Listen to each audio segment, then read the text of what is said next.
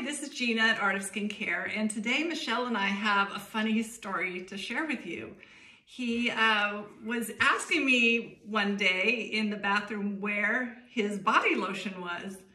And I said, what body lotion? I don't think we have any right now. And what did you say?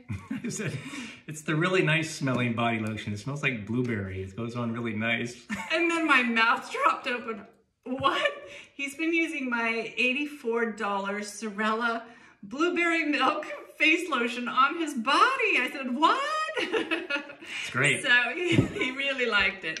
So I came up uh, with an idea. I brought home a different lotion for him to use and he absolutely fell in love with it. So I wanted him to tell you a little bit about it today.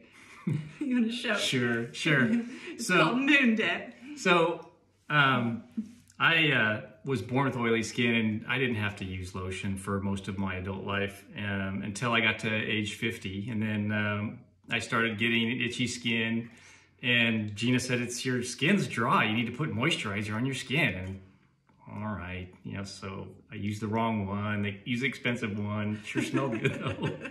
he liked so, the smell. So that was my indication. I need to get him a body lotion that really has a nice scent. Right. So she she gives me this one, this tub of uh, Moon Dip by Farmhouse Fresh, and it comes with this little uh, applicator thing, which I think is totally stupid.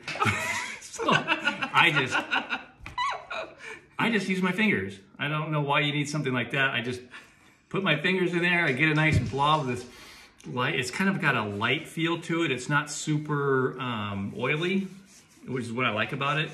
The scent isn't like, I wouldn't call it masculine, but I wouldn't call it feminine either. I think it's kind of a neutral, a neutral scent. Mm -hmm. uh, I don't have itchy skin anymore because I use this every morning when I get out of the shower uh, and start my day. I like the fact that I can get everything out of the bottom of this. It's not a pump where there's always a little bit left over. And when I finally do swipe out the last little bit of lotion out of this container, I can recycle it, which I think is cool. I think that's important. That is cool. And you know, there are three different versions of Moon Dip. So now, you know, a year has passed and I've tried different Moon Dips on him and this one is the only one that he really loves. And recently he asked me to bring home some more Moon Dip. And I said, well, first we have to use up this other one. And so pretty soon I'm out getting the mail out of the mailbox and there's this package from Art of Skincare. so what happened? I wanted more moon dip. So I went, I went online to artofskincare.com and I put it in an order. You created an account and, and I yeah. guess everybody at the studio had a good laugh. They thought it was pretty funny. order coming in from Michel. Serious. Yeah, he wanted that moon dip. so it's a great lotion, and I hope that you give it a try too. Yeah, we thought that story was funny, so we wanted to share it with you today. Yep. Have a great day. Bye.